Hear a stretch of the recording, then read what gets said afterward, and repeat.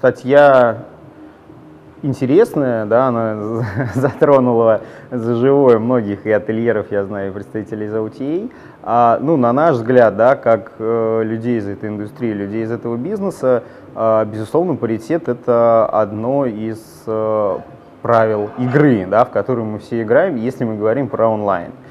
И, э, на мой взгляд, паритет это правильная вещь, потому что если отели начинают давать разные условия э, разным компаниям, но при этом мы говорим про публичные цены, то э, между компаниями начинается ну, несколько странный момент относительно конкуренции. Да, когда за счет, ну, фактически, да, там, за счет того, что дает отель, OTA а, начинают э, получать конкурентные преимущества. А, ну, на наш взгляд, это неправильно. OTA а, сами должны находить эти конкурентные преимущества за счет своей работы, за счет своего качества, за счет там, каких-то дополнительных э, там, бонусов или программы лояльности, которые у них есть для клиентов. А, и уже за счет таких вещей должны выходить на рынок. Да, мы все понимаем про там, специфику метапоиска, который сейчас очень активен в российском сегменте, и там все больше OTA, и даже отели напрямую идут туда. И э, во многом проблема паритета, она вызвана в первую очередь э, пристальным вниманием к метаканалам. Да, потому что там не секрет, если зайти в э, такие Э, на такие площадки, поискать Москву или Санкт-Петербург, то там даже там, брендовые гостиницы с именем, которые заботятся о своем паритете, все равно по ним будут какие-то цены ниже тех, что гостиницы продают на стойке.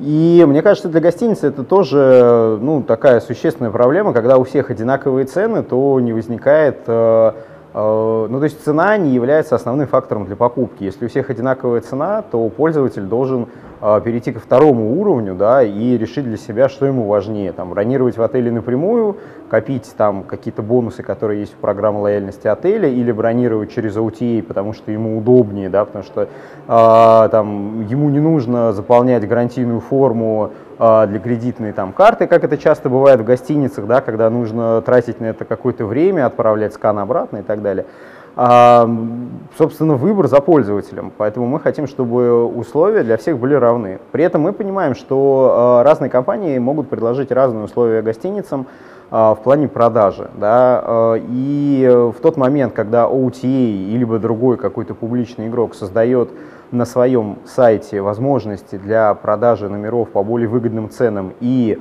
таких возможностей не предлагают другие ресурсы, то это справедливая история. Да, если при прочих равных на всех ресурсах условия э, продажи одинаковые, то мне не совсем понятно, почему гостиница должна давать э, одни цены в один канал, а другие цены в другой канал. Да? Мне кажется, что со временем, ну, если мы будем придерживаться такой политики, то со временем э, те, кто имеют больше объемы, а, они будут продавать гостиницу по лучшим ценам. Да? Ну, в таком случае у каких-то новых игроков или у игроков какого-то узкого сегмента просто не будет шансов для того, чтобы эту гостиницу продавать, потому что пользователь, и российский в том числе, сейчас очень чувствителен к цене. То есть, да, есть категории, для которых э, цена не важна, они лояльны к бренду, к бренду площадки онлайн-бронирования или к бренду гостиницы, но большинство людей, э, они четко понимают, что э, цена может быть ниже. Да, и они идут и проверяют, и смотрят. Ну, мне кажется, такая история с э, большой разницей в ценообразовании, если мы говорим опять же про публичные цены, она не очень правильная. Мы не столь внимательны к изменению цен там, в рамках периодов, потому что мы онлайн и цены задают э, нам сами отели, они могут их менять в любой момент времени.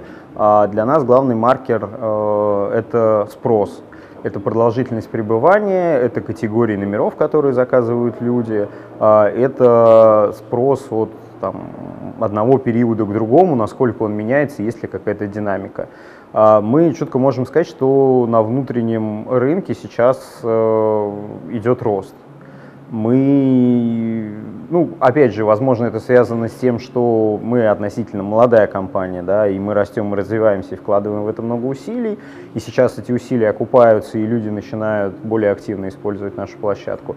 Но в то же время многие события, да, прошедшие, они показывают, что за рубеж стало ездить дороже, проблематичнее, в том числе и с точки зрения каких-то бизнес-историй, да, то есть масс-сегмент, он э, ну, сокращается с точки зрения бюджетов, и он переориентируется на Россию. Так у нас было очень много э, хороших примеров э, этой зимой в Красной Поляне.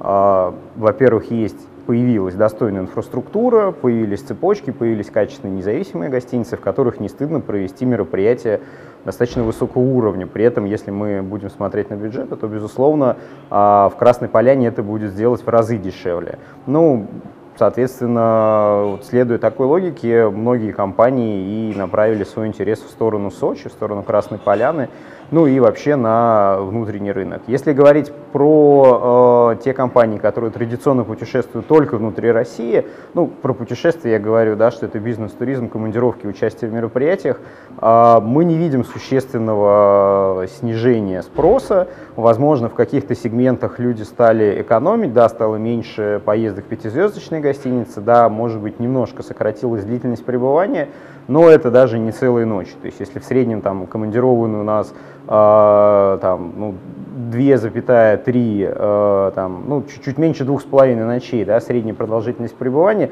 ну, то сейчас она сократилась там 2, 2,1. Но опять же, год еще впереди, поэтому пока люди не сильно экономят на гостиничном сегменте, если мы говорим про путешествия. Ну, безусловно, российский рынок сейчас он не целиком охвачен онлайном, да, ну, собственно, поэтому мы и вышли на рынок.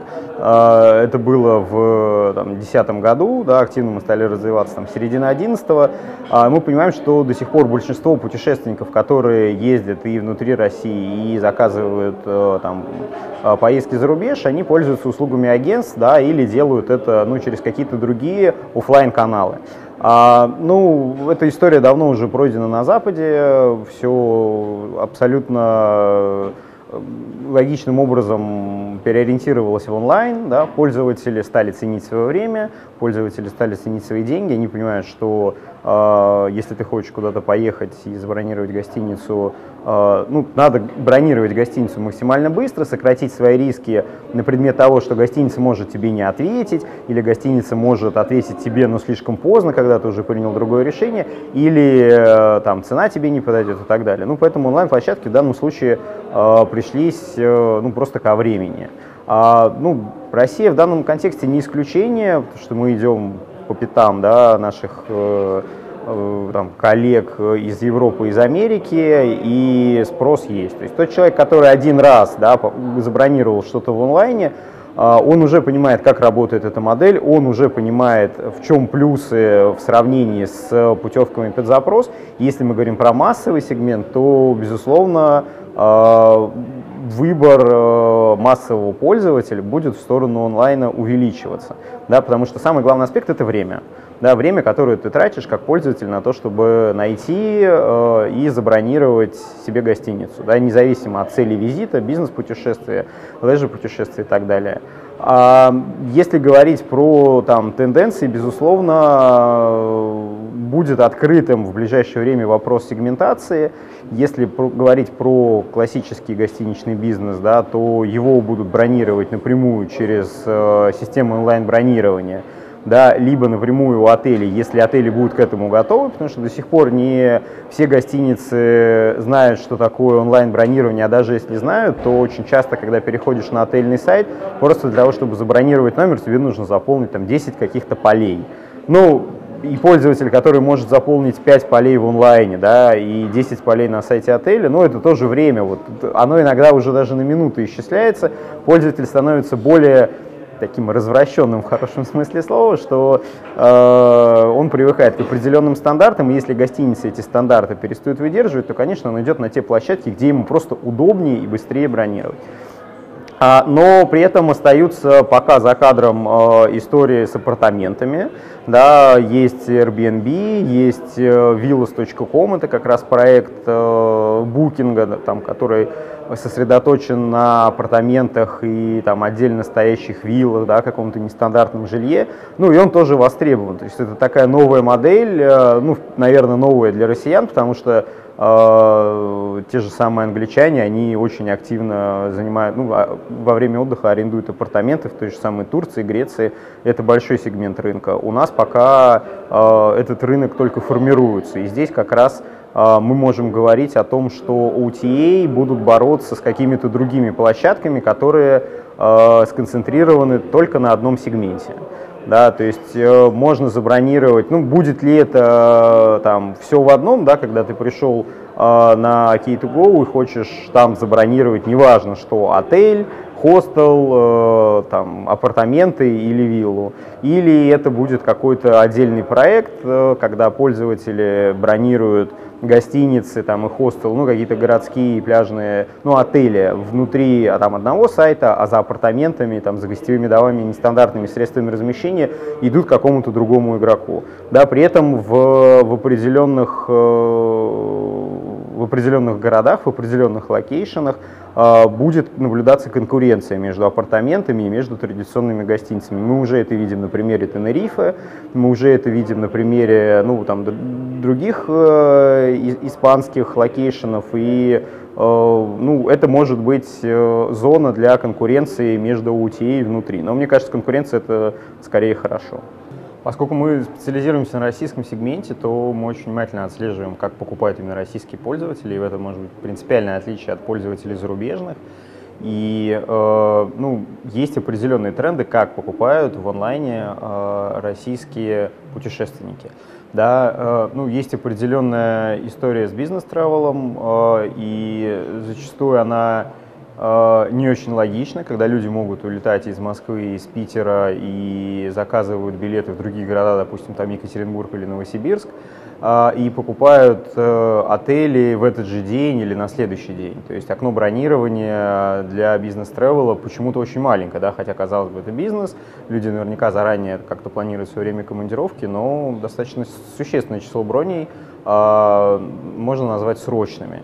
А если говорить про э, сегмент, да, про сегмент э, там, индивидуальных путешественников, которые ездят на отдых, то у нас э, до сих пор не очень популярно бронировать э, сильно заранее. Э, это распространено, наверное, в сегментах пляжного отдыха, где не очень много качественных отелей. Ну, если в регионе не очень много качественных отелей, то люди заинтересованы бронировать этот отель заранее, чтобы получить максимально выгодную цену, чтобы сделать э, бронь, э, там, допустим, с мая они делают бронь обычно на август. Таким образом, они точно знают, что они смогут остановиться в нужное им время в нужном качественном отеле, потому что если это делать за месяц, скорее всего, номеров уже не будет. Но, опять же, это не э, самый популярный э, паттерн. Большинство людей, э, если говорить про leisure сегмент, они бронируют за месяц. Да, это вот если про окна бронирования и про формат, как выбирает наш пользователь.